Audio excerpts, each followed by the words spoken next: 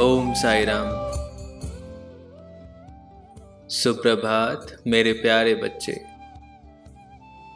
साधारण लोगों की कामयाबी असाधारण कहलाती है।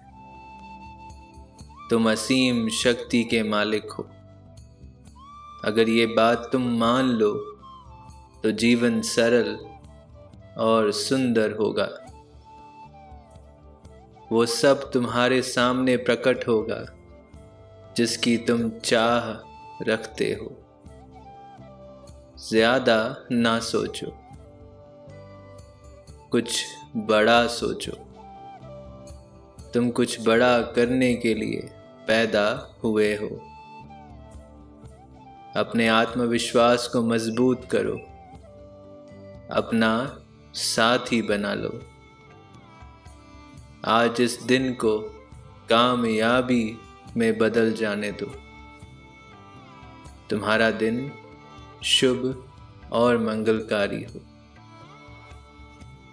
जय साई राम